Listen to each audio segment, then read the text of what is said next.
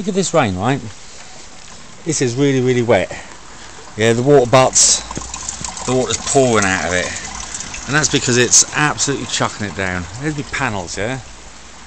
And behind the panels, over there somewhere, behind that house, my neighbour's house, is the sun. It's absolutely chucking it down and it's dark and I've had to put lights on in the shed. But look, my inverter still works in the rain. it's raining. And that's how much energy I'm generating. It's not a lot, but there's a lot of um, solar systems which aren't generating any energy at all. And uh, that's what I like about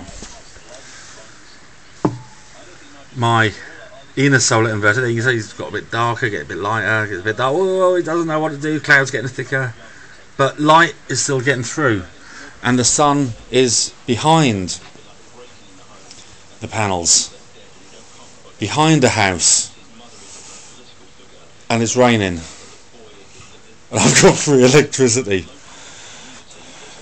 It's brilliant, isn't it? Yeah, I like that.